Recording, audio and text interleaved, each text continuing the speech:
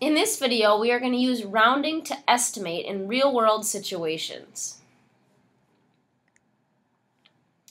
Estimating helps us when we don't need an exact answer. So for this example, we need to figure out about how many seashells did the kids collect. And you can see that there's seven kids here. Ben, Natasha, Raul, Jorge, Gina, Jasmine, and Max. And if we were going to say how many hundreds, we want to round to the nearest hundred. So Ben, 278 seashells, the nearest hundred to that is going to be 300 because 78 is more than 50.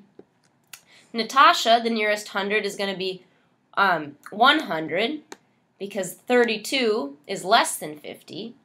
Raul, the he 76 to the nearest hundred would be 100 because again 76 is more than 50.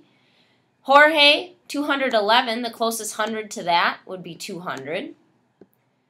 Gina, 362, well 62 is more than 50, so we're going to round up to 400.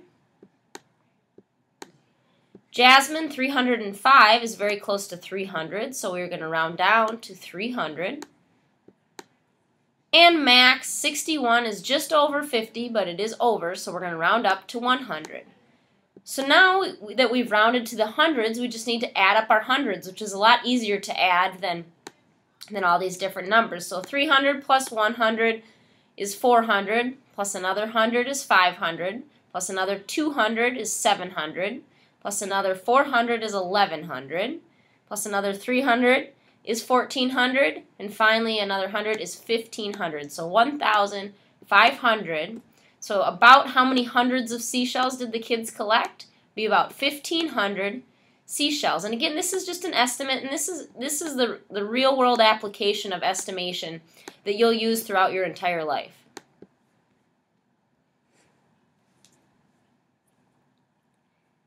Here's homework question one. On summer vacation, Sheena and her neighborhood friends collected rocks. You need to round to the nearest hundred and tell about how many rocks did the neighborhood kids collect in all. Make sure to round to the nearest hundred. So remember, look at the last two numbers, and if it's above 50, you're going to climb the vine and you're going to round up to the next hundred. And if it's below 50, you are going to shut the door and you are going to round down to the nearest hundred.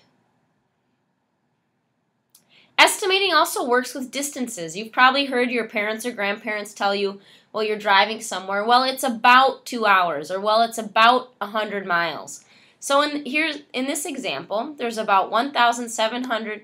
There are, excuse me, there's 1,723.4 miles between Minnesota and Arizona.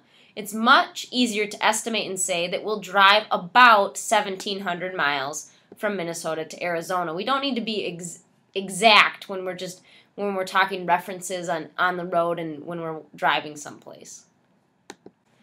Okay, homework question number two. Cora and her family are driving from California to Maine and taking pit stops along the way. You need to estimate how many total miles they travel. You're going to want to round to the nearest thousand or hundred. So from California to Colorado, the first rounding you're going to do here is you're going to need to take 1,117.4 miles and round that to the nearest thousand because it's in the thousands. I'll give you a clue to start you off. This one is going to be 1,000 miles, from about 1,000 miles from California to Colorado. Now you need to figure out and round to the hundreds for the rest of these states and add them together to figure to estimate how many total miles they will travel. Estimating can also help you figure out if you have enough money to purchase something.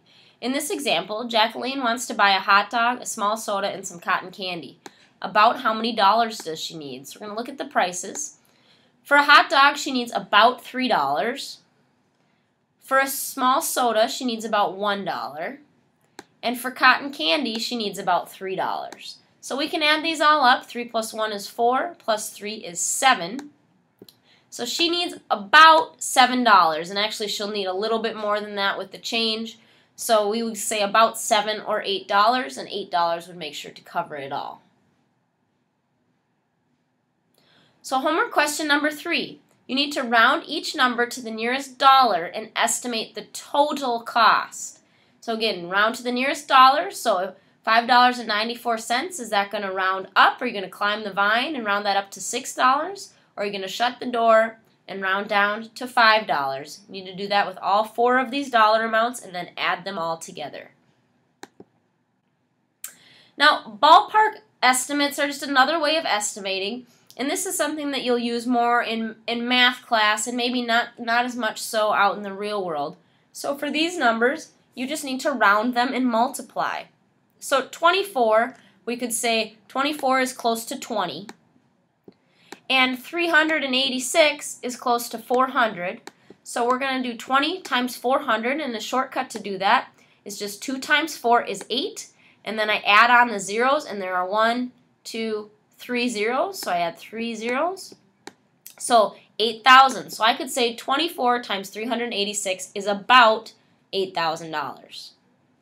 Now for this next one, we're rounding $3.93, which I'm going to say is about $4, times 73, which I'm going to say is about 70.